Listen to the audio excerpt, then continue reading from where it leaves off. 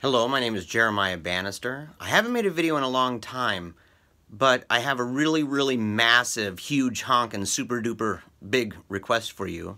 But before I ask you this huge request, I want to tell you a quick story.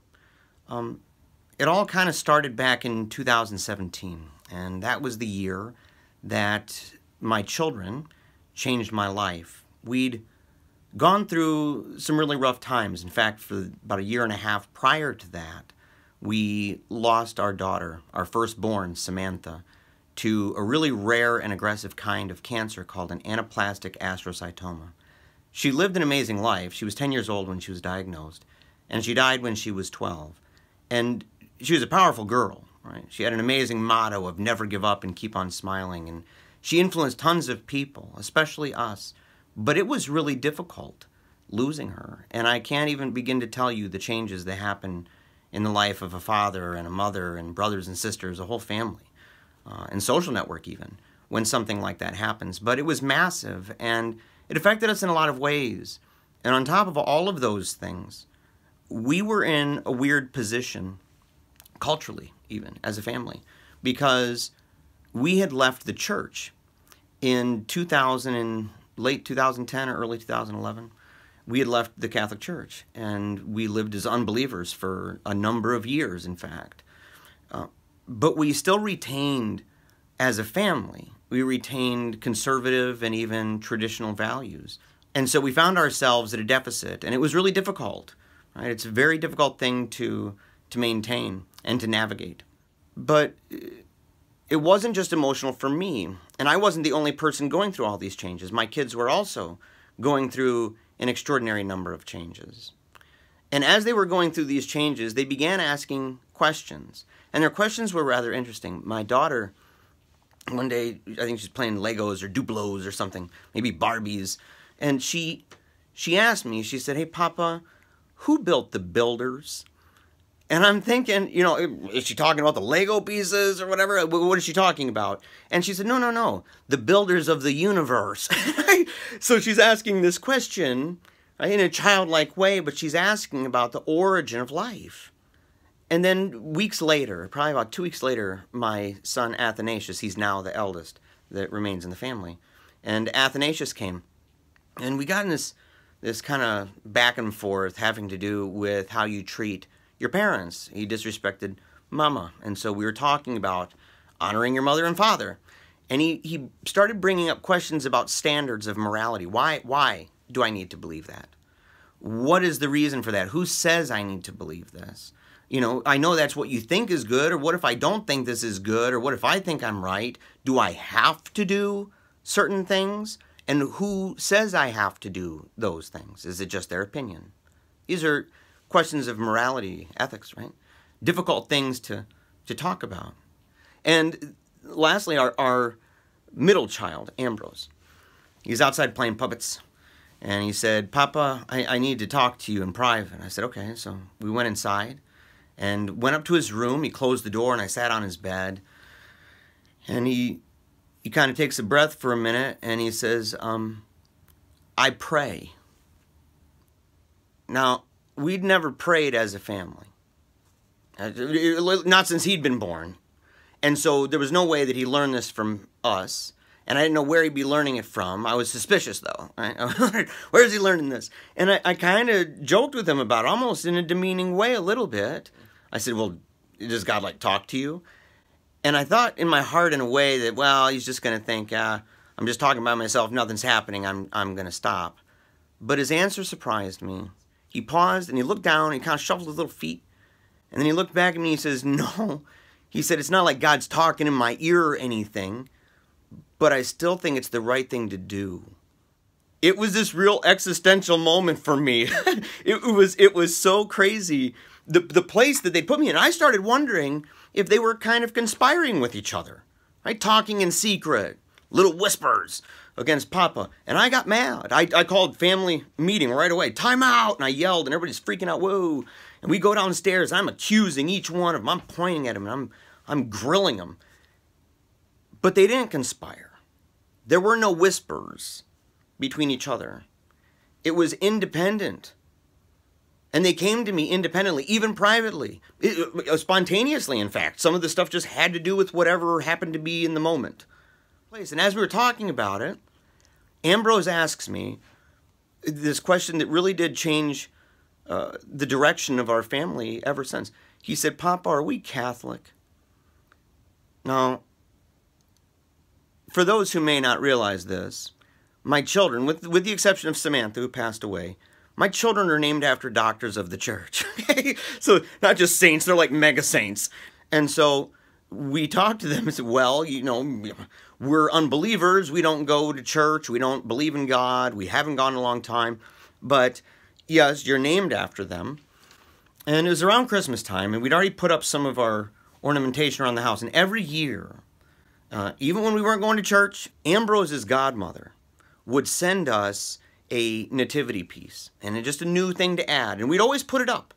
And it, that little light went off in his head, and he said, Well, you know, maybe we can talk to my godmother and we can go to church with her. And we thought we could get out of this. I thought that the godmother lived in Kalamazoo, where we used to live when we went to church at the same church as her. So we called her and lo and behold, she moved to Grand Rapids. and so she lives in the same town as we do. And so there was no getting around this. She went to a, a local church. So we went. And again, lo and behold, as uh, the procession begins and everything for the Christmas vigil, and then the priest walks by. And it's the priest we had when we were Catholic back in 2010. So it's the same guy. He's now he's now stationed at, at a parish in Grand Rapids so all of this stuff, I mean, it just it it it was wild, and there was a lot to think about that night. You know, I even I even talked to the priest afterward, and he he said, "Welcome home, prodigal son." I wasn't even back in my heart yet. Okay, I wasn't. I was still in this weird place in my life. Okay, but we never stopped going, and we decided during that time that we heard they had daily mass, and so we decided to go. So we went to a weekday mass in the morning, and we saw that it was packed with these kids, tons of them, and they were extremely devout, pious kids, and super sharp in those uniforms. And best best uniforms in Grand Rapids, hands down. Period. Right. And our kids began looking at that and they were interested to know more. So we investigated and we were amazed at what we found we found a school that that learns Latin from the earliest grades all the way through to the end. And in fact, we were there for their award ceremony and we saw a whole bunch of kids getting awards nationally recognized for the accomplishments that they've done. The school has been awarded nationally. They say the Pledge of Allegiance every single day. They take entire courses that are created for to learn about government. And they begin with Plato. And on top of that, they have courses on economics. And you just don't see this very often. They read books like Chronicles of Narnia and Homer's Odyssey. They read plays by William Shakespeare. They read Dante's Inferno. In fact, Athen just read this year, he just read Beowulf, and they had to answer at the end of the class. They had to answer a question with three uh, uh, three answers for yes and three answers for no. And the question was, did Beowulf die an honorable death? And they had to be prepared to stand up in class and to debate this. They, they put together these, these plays that a lot of times schools will do plays and they're kind of meant for younger people. These ones are long. right? they did Les Mis last year at the Wealthy Theater. And this year, Ambrose and I got to go see the uh, the students perform My Fair Lady, and it was remarkable. But what got me the most with all of this, and I mean, each one of those things I said I could go on for a long time. There's a lot more about this school: art, music, science, math, all of it. Amazing. They write in cursive every day for crying out loud. Okay, this is not your normal school. Um, but what got me the most is mass every single morning. Every single morning, those kids are at Mass. That's how they start their day. It is centered around Christ. It is centered around the cross. It is centered around the altar. It is centered around the scriptures. It is centered around the preaching of the word in a homily. It is centered on this. But I went to Mass with them one morning. And after communion, I'm sitting there and I'm praying. I'm kneeling down and my eyes are closed. And I don't even realize it. But Ambrose and Teresa had walked around the back and they were lined up with their class to sing. And with my eyes closed, all of a sudden I heard them start to sing. It was Ave Maria. And I listened and it was it was unlike any other kid singing I'd ever heard. you, you, I'm sure that all of you have heard kids sing a bazillion times. We all know what kids sound like when they sing. And yet, at this place, it was so heavenly.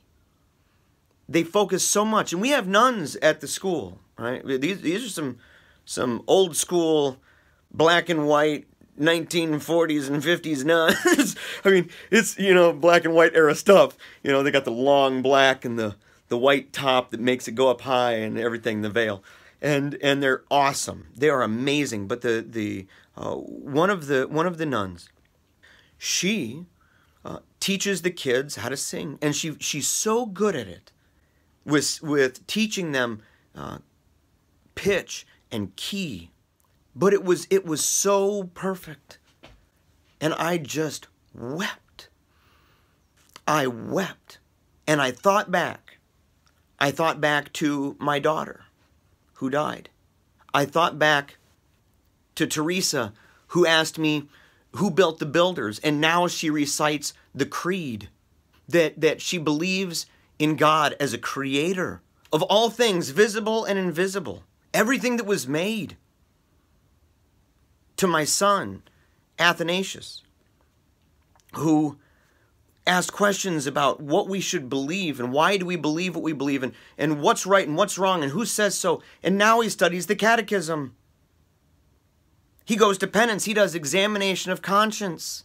He, he evaluates his life as a, as a young man. And Ambrose, who secretly told me that he prayed. He told me another secret later.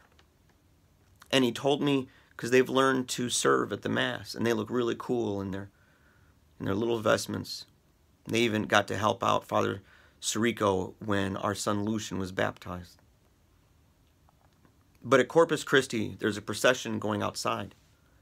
And you walk around streets and they ring bells and you sing songs and there's girls throwing flowers, flower petals all over the sidewalk. It's a, it's a beautiful event. And you periodically will kneel down and you'll do different prayers. And after one of those were done, my son looks over at me and he says, Papa, church is my favorite place in all of the world to be.